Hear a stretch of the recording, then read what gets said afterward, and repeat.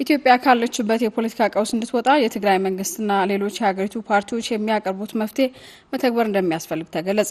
ህገወጥ አካሄድ እየሄደ ያለው አህዳዊ የአብይ አህመድ ቡድን ራሱ በፈጠራቸው ህገወጥ ውሳኔዎች ለፖለቲካዊ ቀውሱ ምክንያት እንደሆነ ከአልጀዚራ ጋር ቆይታ ያደረጉ ተንታኞች ተናግሯል። ሳሙኤል ገብረ ታቲዮስ ተመልክቶታል። ውጥረቱ ህገ መንግስት ተከትሎ ምርጫ ባካሄደ ክልልና ህገወጥ በሆነ የአብይ አህመድ ቡድን ነው። በተለይ ከወርሃ መስከረም ጀምሮ በመቀለና አዲስ አበባ የተፈጠረ ውጥረት እየተባባሰ መምጣቱን አልጀዚራ በዘገባው አስፍረዋል። የህዝቡን ህገ መንግስታዊ መብት አክብሮ ምርጫ ያካሄደ የትግራይ ክልል መንግስትና ኮረናን ምክንያት ተጠቅመው ስድስተኛ ምርጫ ያራዘመ ቡድን መካከል ህገ መንግስት ማክበርና አለማክበር ጉዳይን ለውጥረት እንዳበቃው ዘገባው ያመለክታል። ከአልጀዚራ ቆይታ ያደረገች የአዲስ ስታንዳርድ አዘጋጇ ጸዳል ለማ ኢትዮጵያ በመበታተን ስጋት ውስጥ መሆኗንና አሳሳቢ ደረጃ ላይ እንደምትገኝ ገልጻለች። a considerable concern ጉዳዩ ትልቅ ትኩረት ሊሰጠው የሚገባ አሳሳቢ ጉዳይ ነው። የትግራይ ክልላዊ መንግስት አሁን በሀገሪቱ ያጋጠመውን ለመከላከል እንደ አማራጭ በወሰደው ህግና ስርዓት ነው እያስተዳደረ ያለው። በሀገሪቱ ያጋጠመው ቀውስ ግን እየጨመረ ነው ያለው። በተለይ አሁን በጣም አሳሳቢ ደረጃ ላይ የደረሰ ጉዳይ ነው።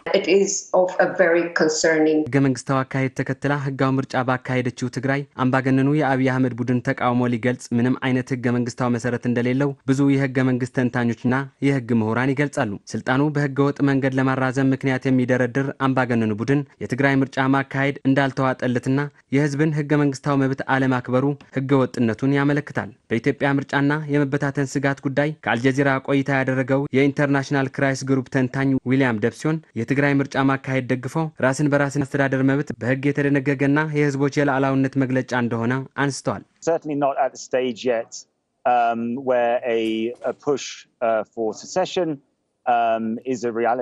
ብሔር ብሔረሰቦች ህዝቦች መብታቸው ከሚያረጋግጡት አንዱ ነው። የህዝቦችን ራስን በራስ የማስተዳደር መብት ህገ መንግስቱ ውስጥም ተካትተዋል። ተግባራዊ ማድረግም ፈቅደዋል። እናም ክልሎች ከፌዴራል መንግስት ሳይግባቡ ሲቀሩ ራስን በራስ የማስተዳደር መብት ተጠቅመው በህገ መንግስታዊ ማዕቀፍ ውስጥ መቆየት መብታቸው ነው።